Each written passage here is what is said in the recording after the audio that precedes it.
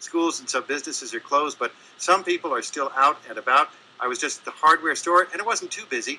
So either people are not taking it seriously or they feel prepared already. We're pretty used to high winds, but the storm surge could really be something. Uh, this from Sandy in Downingtown, Pennsylvania. Heavy, heavy rain. Winds are kicking up. You can see the tops of the trees swaying dangerously. We have a standby generator we just got yesterday. I'm cooking dinner now, so if the power goes out, I can plug the microwave into the generator and reheat. And uh, Joe Palca, that points to the differences. Yeah, not a lot of heavy rain in New York. Yes, in Downingtown, Pennsylvania. Location, location, location. You don't know. Yeah, uh, well, it, it, this storm has uh, got um, many characteristics, and it just depends on where in the in the in the spiraling winds and pressure changes that you're sitting. So it it will be very varying depending on yes, as you say, location.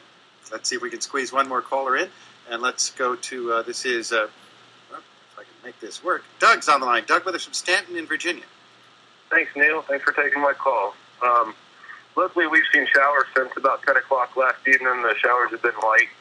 Um, we're expecting heavier showers this afternoon. Uh, a lot of uh, locals are rather concerned about forecasts to the western mountains from here. Uh, 50 inches of snow at Snowshoe Mountain.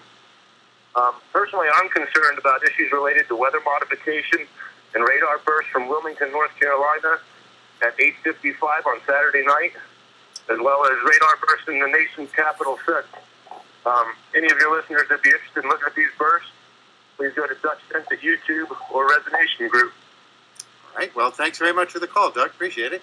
Thank I'm you. not familiar with radar bursts or how they might affect the weather, but uh, uh, might see about that. Anyway, uh, thanks to everybody who called and wrote and everybody who is preparing uh, for this storm. Please be careful and take care of yourself. Take your safety very, very seriously.